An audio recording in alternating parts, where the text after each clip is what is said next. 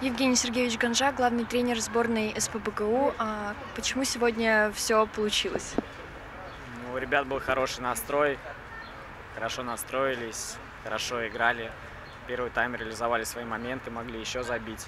Всех поздравляю с победой, спасибо болельщикам. Все здорово, мы довольны. Какая установка будет на завтрашнюю игру? Нужно выигрывать, биться на каждом участке поля, тогда все получится.